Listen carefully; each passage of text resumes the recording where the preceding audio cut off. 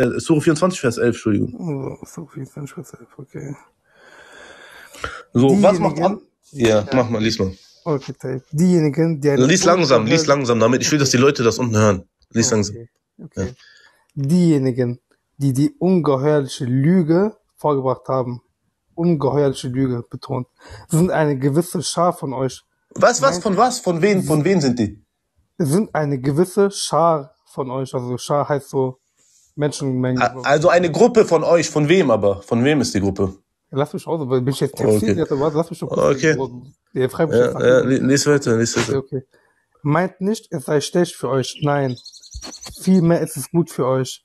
Jedermann von ihnen wird zuteil, was er an Sünde erworben hat. Und für denjenigen unter ihnen, der den Hauptanteil daran auf sich genommen hat, wird es gewaltige Strafe geben. Und jetzt möchte Said sagen, damit habe ich mir ins eigene Bein geschossen. Leute, guck mal, liest diese Verse selber einfach, lasst euch nicht. Okay, bist du fertig? Schau mal. Jetzt, guck mal, Subhanallah, du bist so verblendet. Ne, ich mag dich, ich meine das nicht, äh, nee, ich meine das nicht negativ, ich meine damit, du hast nicht gelesen, was hiermit gemeint ist. Also, was, was ist überhaupt der Kon Kontext dieses, dieses, dieser Sure? Der Kontext dieser Sure ist, dass Aisha hier Sinner vorgebracht wurde, ne, und dass Allah hier Aisha von Sinner freispricht. So, ja, tamam. Aber jetzt, was passiert hier? Allah hat nur äh, äh, Aisha Sinner freigesprochen. So, er hat nicht gesagt, sie ist eine gute Frau oder was weiß ich. Aber jetzt kommt das Wichtige hier an dieser, an, der, an dieser Thematik. Wer waren denn diese Leute, die gesagt haben, dass Aisha Sinner gemacht hat? Wer waren diese Leute? Waren die Schiiten das? Waren wir das damals? Dann müssen wir zur Zeit des Propheten gelebt haben. So, hier steht im Koran, dass es eine Gruppe von euch war. Ich frage dich, lieber Berkay, eine Gruppe von euch, wer, wen meint Allah damit, eine Gruppe von euch im Hä? Koran, wenn er spricht, eine Gruppe von euch? Okay, sag, sag mir das Tafsir-Gelehrter. Also damit können auch die Menschen gewesen, gemeint sein, die Menschen, aber ich würde mir nochmal den Tafsir durchlesen, bevor ich jetzt aus meinem Gewissen Äh, so, jetzt bringe ich dir den Tafsir von At-Tabari, ne? Mein, mein, mein süßer. Berkay. Ich liebe es. Ja. Guck, und das ist für, das ist für mich eigentlich, das ist ein Geschenk an dich. Welcher deiner Sahabi, ja, Aisha Sinner vorgeworfen haben, auf die du radiallahu anhu sagst und die deine Mutter Aisha gesagt haben, dass die eine, eine Zania wäre. Ja, ich pack, pack Okay. das hier, ich pack das hier in Dings. Ne? Weißt du was? Ich lese den So. Tafsir selber, ich brauche den Tafsir. Hier, hier, Nein, nein, ich hier. Ich hab dir doch geschickt, Jami, Jamal Bayan für Tafsir al-Quran. ich lese, ich lese selber von Ibn Kathir, warte. Du, guck mal, ich bring dir von Tabari, laut Ibn Taymiyyah ist Tabari beste Hadith, äh, beste Tafsir. Okay, inshallah, warte. Gib mir kurz eine Minute. Ich hab dir doch den geschickt. Lass mich Du musst nur lesen, vorlesen. Berkay, lies doch einfach Ja, den doch von den Tabari. Von, Wo ist das lass mich Problem? doch Aber Tafsir. sag, sag, mir nur, sag mir nur, lieber Bruder, warum du den Tafsir von Tabari nicht lesen möchtest. Wer ist doch gerade da? ich lese ist lieber doch, ein, von das ist doch jemand, auf den, das ist Aber, doch jemand, auf aber, den ihr euch Ja, natürlich. Tabari ist auch, Sehr, aber ich kann doch auch aber von warum nimmst du den jetzt nicht von Tabari? Okay, warte, ich wa- bring dir einen anderen. Ich bring muss, dir von, muss ich den von Tabari nehmen? Muss, nein, ich bring muss dir von Kurtubi. Ich bring dir von Kurtubi Gib mir, gib mir mal einen Grund, warum du den von Tabari nicht nehmen willst. weil ich den sage von dir warum. Ich habe den von? Kathir gerade parat. Nein, weißt du warum? Weißt du warum, nein, nein. Ja, ja, ich weiß Weil. Tabari weiß sagt. Tabari und Kurtubi sagen, wer diese Person waren, die Aisha Sinner vorgeworfen haben. Und Und die die sagen, Person, anderen hör zu. Bruder, hör zu, Bruder, die Person, die Aisha Sinner vorgeworfen haben, auf die sagen die radiallahu anhu. Und dieser eine, unter dem ist dieser Hassan ibn Thabit, gib den mal bei Google ein. Gib mal ein, alle, den Sahabi Hassan ibn Thabit, auf den die sagen radiallahu anhu. Und der hat ihrer Mutter Aisha vorgeworfen, dass sie eine Sania wäre.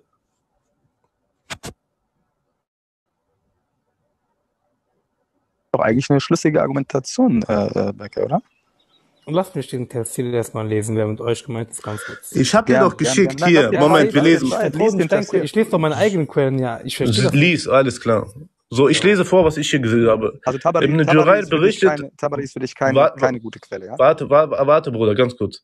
Also Ibn Jurayl berichtet, dass Abdullah ibn Abbas sagte, diejenigen, welche über Aisha die Lüge vor- vorgebracht haben, sind Abdullah ibn Ubay, der Hauptschuldige, Hassan ibn Thabit, Mista und Himna bint Jash. Jami al-Bayan fi Tafsir al-Quran, äh, Seite 117.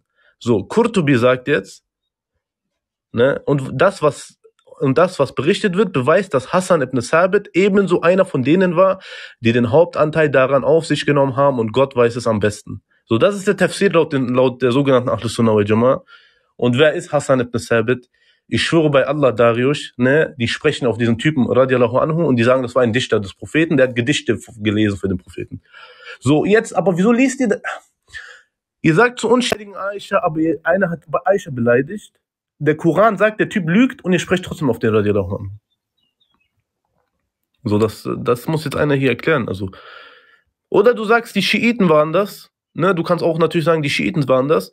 Dann ist aber die nächste Frage, wieso der Prophet uns nicht bekämpft hat und, und uns es schon zu Zeiten des Propheten gegeben hat. So das, also da, aus dieser Sache, Berkay, ne, kommst du nie wieder hier raus. Also ich hole auch eine Oma hier hoch, ne. Aus dieser, aus dieser Dings kommst du nie raus hier, Bruder. Ich schwöre. Tabari, Tabari war ein Historiker und hat alles zusammengefasst. Das ist gar kein Indiz. Was stellst du gerade einen Scheiß raus? Also ich sage dir warum. Nee, erstens, erstens das ist nicht bleiben wir Tarif. doch, Warte, bleiben Bruder, doch bei warte. Warte ganz kurz, warte ganz kurz. Erstens, Bruder, das ist nicht Tarikh Tabari, sondern das ist der Tafsir von Tabari. In Tarikh Tabari stehen viele Dinge, er hat alles gesammelt, das stimmt.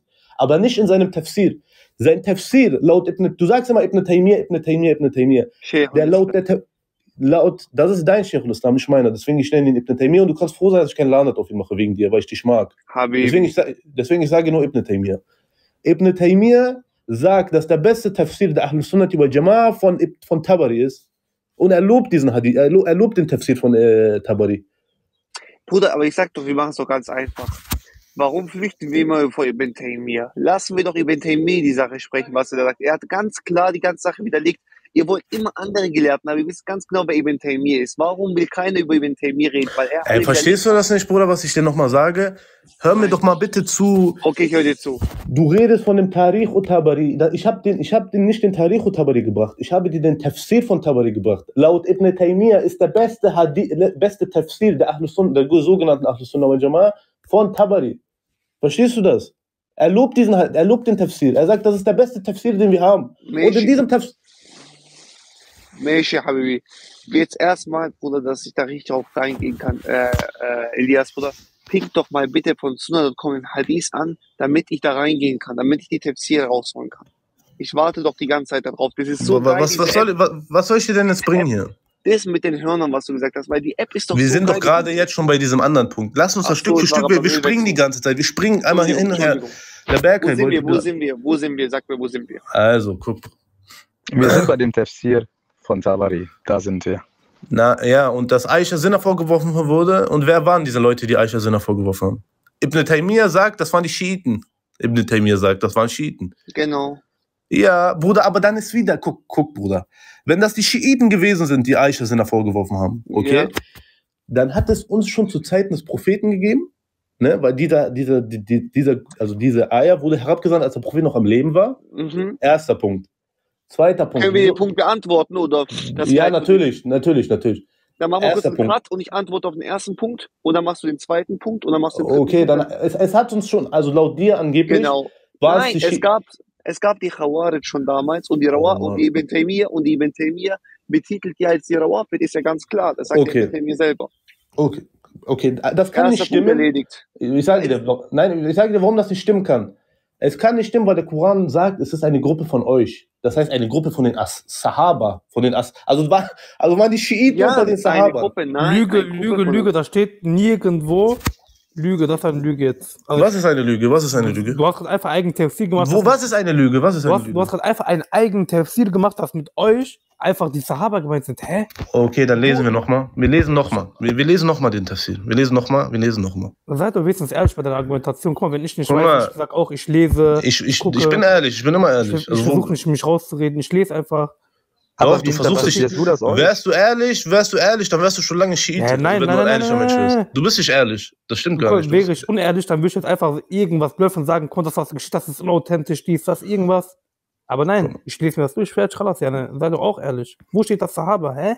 Ich sage dir, wo das Sahaba drin steht. Warte mal. Hier. Äh, warte, wir lesen nochmal den Vers. Hier. So, in dem Koranvers steht, Mhm. äh, diejenigen, die die Lüge vorgebracht haben, sind eine gewisse Gruppe von euch. Okay. Okay. Und zu, und zu welcher, zu welcher, zu welcher Zeit wurde dieser Vers herabgesandt? Also, egal, ob der in Mekka, ob das ein amerikanischer Vers, ein medinensischer Vers, das ist egal, weil wo steht das Sahaba, hä? Was Sahaba. ist denn der Prophet? Also, zu wem spricht hier Allah? Zu wem spricht hier Allah? Zu wem spricht hier Allah? Zu der Umma. Zu der Umma von wem? Von Mohammed? Also ist mit euch immer Sahaba gemeint? Nein, hör mal zu. Zu wen spricht hier Allah? Ja, guck mal, jetzt machst du deinen eigenen Tafsir. Dafür hast Zu wen ne? spricht hier Allah? Zu Ja, wen spricht er hier? Nein, nein, guck mal, bei dem anderen Vers hast du einen Tafsir. Antworte mir. Zu wen spricht hier Allah? Zu wem spricht Allah? Ja, ich frag dich doch. Ich Antwort frag doch einfach mal die Frage. zu wen er spricht. Zu wen spricht Allah hier, indem er sagt, eine, äh, diejenigen, die eine Lüge vorgebracht haben? Zu wen Ja, spricht er hier? Zu den die Menschen, die diese Lüge halt gesagt haben. Also Ja, Ungläubige lesen den Koran, also er hat für die Kuffar. Also du sagst, Allah hat hier die Kuffar damit angesprochen, also Götzendiener, Muschrikin. Hey, warte mal. Ich verstehe gerade echt Warte, nicht warte, warte, Argumentation, warte. Trink äh, jetzt, äh, Berker, Berker, lies mal die Eier eins davor und eins danach, ja? Und lies hier mal Dinger durch, dann wissen wir ganz genau, was damit gemeint ist, bevor wir getrimmelt werden. Ich bin noch beim Ölwechsel, Bruder. Ich guck. Ey, auf Anteil ist auch ein Film, ja. Okay, hier steht. Warte mal. Weil ich habe das oft mit denen gemacht. Da habe ich eine Eier davor gewesen, danach, da war alles klar. Lies nur so, das ist der Trick. Subhanallah, okay. Und ohne die Huld Allahs gegen euch und seine Barmherzigkeit und dass Allah Reue annehmend und allweise wäre. Diejenigen, die eine ungeheuerliche Lüge vorgebracht haben, sind eine gewisse Schar von euch. Meint nicht, es sei schlecht für euch, nein. Vielmehr ist es gut für euch, jedermann von ihnen wird zuteil, was er an Sünde erworben hat. Und für denjenigen, und für denjenigen unter ihnen, der den Hauptanteil daran auf sich genommen hat, wird es gewaltige Strafe geben. Hätten, hätten doch, als sie es hörte, die gläubigen Männer und Frauen eine gute Meinung voneinander gehabt. gesagt, Oh, äh, was, was hast du gerade gelesen? Lüge. Äh, was hast du gerade gelesen? Die Gläubigen was? Berkay. Ja, die gläubigen Frauen und Männer.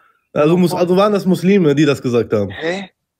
Hä, what? Ich check deinen Berkay, Zusammenhang. Berkay, Ich check Berkay. deinen Kias Fing das da oben an, der checkt das nicht, der checkt das nicht. Ey, ihr seid so peinlich, ich schwöre. Weißt du, was das Lustige ist? Berkay, wen hat dir Gott jetzt angesprochen? Berkay, eine Frau. Wen hat Gott hier angesprochen? So, wir lesen nochmal. Nein, wen hat Gott hier angesprochen? Teil, warte, wir lesen nochmal. Wir fragen jetzt alle hier, damit das alle verstehen. Du bist selber Hätten verunsichert, Berkay. Hätten Du doch, bist, als du bist selber verunsichert, sonst die würdest du einfach ganz klar heraus die Meinung- Antwort auf die Frage geben, wen Guck mal, Allah nein, nein, nein. Wen hat Allah hier angesprochen? Du versuchst jetzt zu dribbeln. Ich kenne diese Nein. Wen hat Allah hier angesprochen? Hä? Die angesprochen worden sind. waren Wer, wer waren das? Wer waren das? die Eine Gruppe, angesprochen, eine die Gruppe von angesprochen euch. Worden sind. Das ist ein starkes Argument. Es Das ist ist ein eine gewisse euch. Argument. Nein, Guck mal, erstens, hier wird gesagt, es ist eine gewisse Schar von euch. Wer sagt, dass mit diesem Vers nur diese Leute angesprochen sind? Aber du hast Mal doch gerade noch, du hast doch gerade noch den Vers davor gelesen. Lies ihn doch einfach nochmal. Oh, Hier steht nur, und ohne die Huld Allahs gegen euch und seine Barmherzigkeit und dass Allah Reue annehmend und allweise wäre. Und jetzt lies weiter. Lies mal weiter wieder. Ja, dann kommt der gleiche Vers, den schon. Okay, und dann lies mal einen Satz danach. Lies mal gerade, was du Lies gelesen mal hast. bitte die Verse, Janne. Ich habe echt genug gelesen. Lies doch einfach mal weiter. Becker. Flüchte doch nicht. Du kannst so gut lesen. Ja. Ich genieße das, dir zuzuhören beim Lesen. Ich lese, ich lese für euch, ich lese gleich für euch. Ich bin Nein, nein, nein, lass doch Becker lesen. Lass Becker Okay, weiter. Also, ich bin da, ich, ich, ich sag das nochmal, damit du das verstehst. guck mal, hör mal zu. Die, guck mal, ey, das muss doch ein Behinderter verstehen jetzt. Diejenigen, die die ungeheuerliche, Lüge vor, vorgebracht haben, sind eine gewisse Schar von euch. Meint nicht, es sei schlecht für euch, nein. Vielmehr ist es gut für euch. Jedermann von ihnen wird zuteil, was er an Sünde erworben hat und wird für denjenigen unter ihnen, der den Hauptanteil daran auf sich genommen hat, wird es eine gewaltige Strafe geben. Hätten doch, als ihr hörtet, die gläubigen Männer und Frauen eine gute Meinung voneinander gehabt und gesagt, das ist eine deutliche und eine ungeheuerliche